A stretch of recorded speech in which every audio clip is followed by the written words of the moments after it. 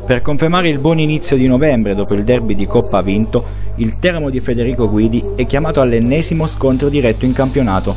Al Bonolis si presenta la Fermana, che nelle ultime 5 giornate ha trovato la sconfitta solo con il Pescara, ma che ha appena un successo all'attivo nelle ultime 13 trasferte. L'ombra degli infortuni segue ancora il diavolo, costretto a fare a meno anche del portiere Tozzo, influenzato, al suo posto il 2002 Agostino. Solito 4-3-3 per Guidi, con Mungo e Arrigoni a centrocampo. C'è Bua, nonostante i dubbi delle ultime ore. Il diavolo sa di dover sfruttare la minima occasione e così accade.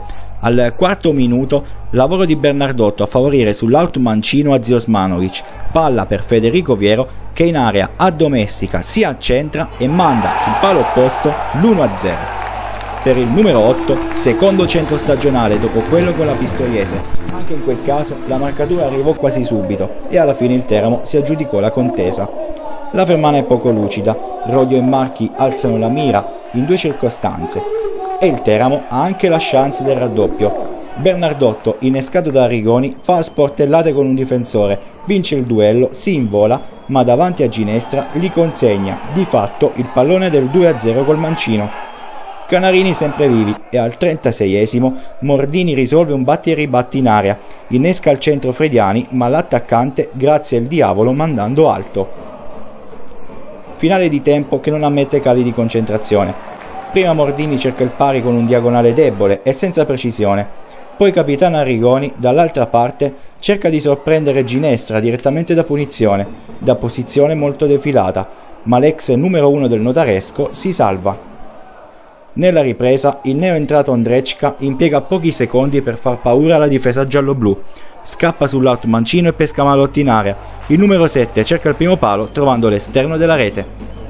Reagisce la squadra di Riolfi, azione insistita sulla sinistra, cross per Mordini, testa a cercare il 7 ma a trovare solo l'illusione della rete. Scampato il pericolo, il Teramo abbassa nuovamente la testa e raddoppia e il 53esimo Bernardotto avvia la sua solita giocata offensiva, fatta di cattiveria agonistica.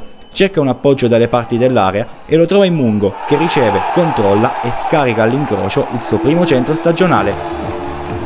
Apprezzabile l'esecuzione del centrocampista, che conferma la sua importanza nell'11 bianco-rosso e corona una prestazione sempre più in crescendo non è ancora finita e per evitare brutte sorprese la squadra di casa triplica le marcature. Minuto 56, Arrigoni sventaglia dalla propria tre quarti, sembra un pallone ormai perso, ma Rosso scatta sul filo del fuorigioco e si ritrova completamente solo davanti a Ginestra, scegliendo il tocco sotto per chiudere la pratica e far esplodere il Bonolis. Anche per il prodotto del vivaio del Torino è il primo sigillo in questa Serie C e per la prima volta in stagione il Diavolo segna tre volte in meno di 90 minuti. Sulle ali dell'entusiasmo si sfiora la goleata, con Bernardotto che due minuti dopo sfugge la linea del fuorigioco difensiva e manda appena lato in diagonale. Mai abbassare la guardia e quando ciò accade ci pensa il giovane portiere Agostino a salvare i biancorossi, come quando dice di no all'incornata ravvicinata di Graziano allo scoccare dell'ora di gioco, poi Blondette scarica fuori da buona posizione. Miglior momento della Fermana. Passano altri 5 minuti, il direttore di gara punisce, tra mille proteste, un intervento in area del neoentrato lombardo su Pannitteri, concedendo il penalty. Dagli 11 metri va Marchi, Agostino intuisce ma non evita il gol che riapre i giochi e ridà speranza ai marchigiani. I canarini non cadono dal 16 ottobre e ci provano con ancora più convinzione. Al 72esimo Mordini prende al limite e chiama alla presa bassa Agostino, 120 secondi e Rodio, sempre da fuori, sbatte sull'estremo difensore diciannovenne. Rosso e Birligea tra il 77 e l'85 potrebbero mandare i titoli di coda, ma non riescono a superare Ginestra. Quando sembra finita, al 92 la Fermana punge. Dopo un piazzato da centrocampo, palla in area proveniente dalla sinistra.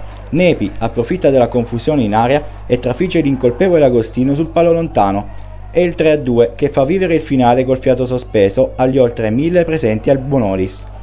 Ma l'assedio ospite non porta altri risvolti. Vince il Teramo, lo fa dopo oltre 15 anni contro la Fermana, lo fa anche in campionato a distanza di quasi un mese e alla vigilia di quattro sfide delicatissime, con Pescara prima, Olbia, Carrarese e Pontedera poi, giocando tre volte su quattro in trasferta. Il diavolo toglie lo sguardo dalla situazione infortuni e si gode una serata da applausi, lasciando la zona rossa della classifica e ritrovando il feeling con il successo.